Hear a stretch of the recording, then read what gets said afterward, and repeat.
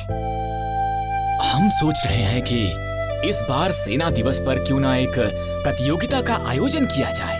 कैसी प्रतियोगिता महाराज? एक ऐसी प्रतियोगिता जिसमें जीतने वाले सैनिक को हम शूरवीर सैनिक का खिताब देंगे। और महाराज कितना अच्छा होगा ना? अगर आसपास के सभी नगरों के सैनिक इस प्रतियोगिता में हिस्सा ले?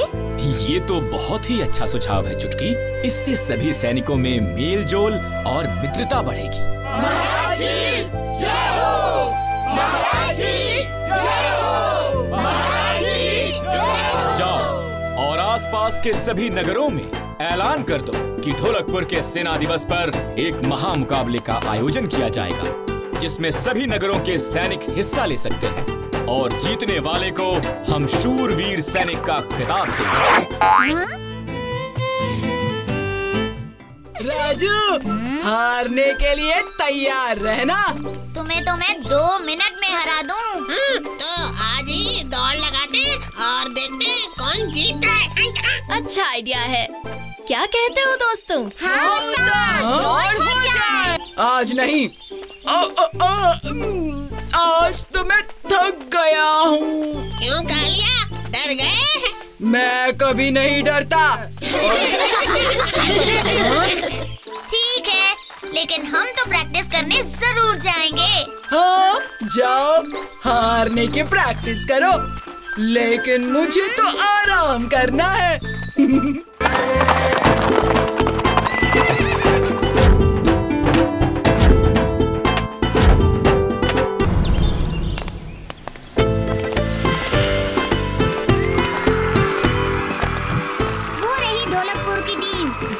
राजू मुझे यकीन है तुम ही जीतोगे। अच्छा दोस्तों मैं अपनी जगह पर जाता हूँ। ठीक समय पर आए राजू। इस प्रतियोगिता में हिस्सा लेकर तुमने बहुत हिम्मत का काम किया है।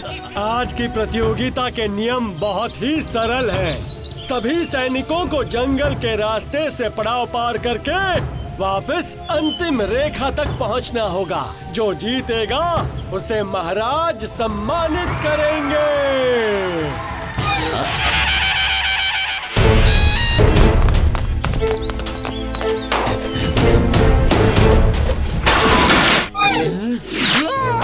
सब लोग सावधान हो जाओ, आगे खतरा है।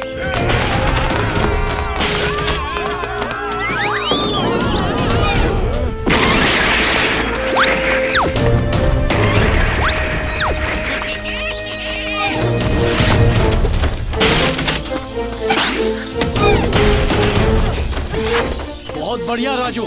शुक्रिया सेनापति।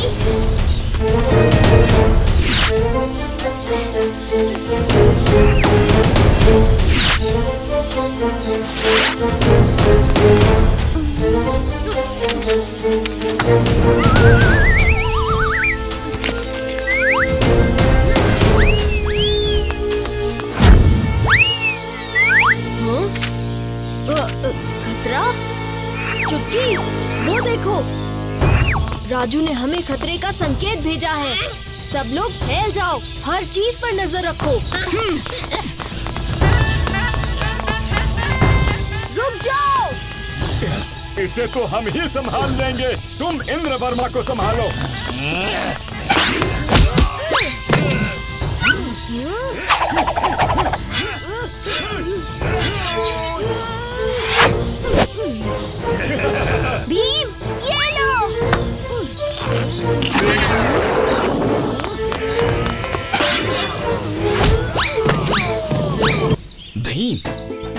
तुमने ढोलकपुर को फिर से एक बड़ी मुसीबत से बचा लिया। मैंने नहीं महाराज। ये सब तो राजू ने किया है। उसी ने रेस खत्म करके हमें खतरे का संकेत दिया और आपकी रक्षा की। राजू तुम ढोलकपुर के ही नहीं बल्कि इस प्रतियोगिता के सबसे शूरवीर सैनिक हो। ये लो।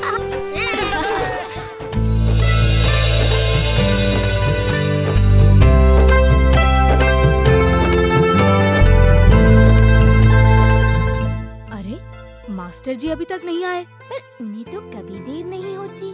अगर आज मास्टर जी नहीं आए तो हम सब खेलने जा सकते हैं। या तो तुम हमेशा खेलने के बारे में सोचते हो या खाने के। इसीलिए तुम्हारी बुद्धि का तो जवाब ही नहीं। ए राजू चुप कर वरना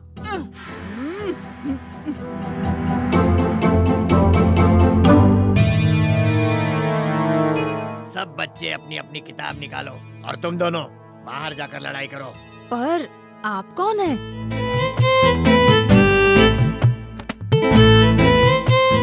मेरा नाम है कमल गुल जी और क्योंकि आपके मास्टर जी एक हफ़्ते की छुट्टी पर गए हैं इसलिए जब तक वो वापस नहीं आ जाते उनकी जगह मैं आपको पढ़ाऊँगा।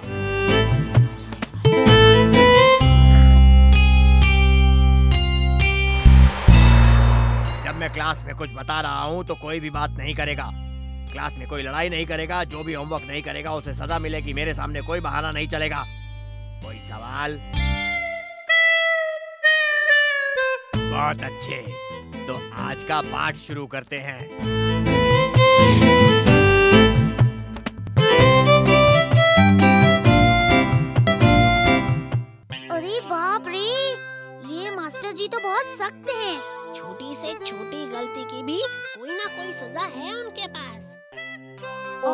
चीज़ के लिए नियम।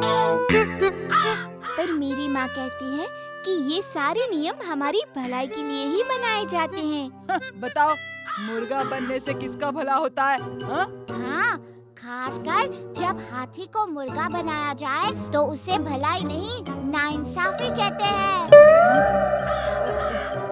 हाँ, हाँ, हाँ, हाँ, ऐसी ना इंसाफी नहीं चलेगी। और इतना सारा होमवर्क कौन करेगा? और नहीं किया तो फिर सजा। अरे पर एक हफ़्ते की ही तो बात है। तब तक हमें ये सोचना चाहिए कि हम अपने नए मास्टर जी से क्या क्या सीख सकते हैं।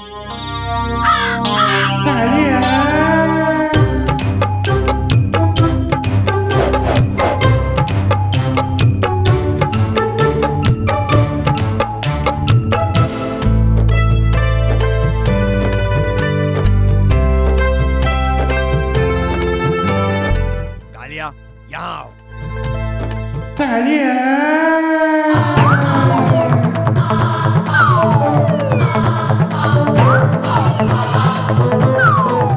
नहीं, कालिया।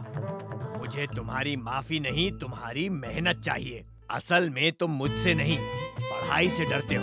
डट कर मेहनत करोगे तो तुम्हें किसी भी चीज़ से भागने की या डरने की ज़रूरत नहीं पड़ेगी। समझे?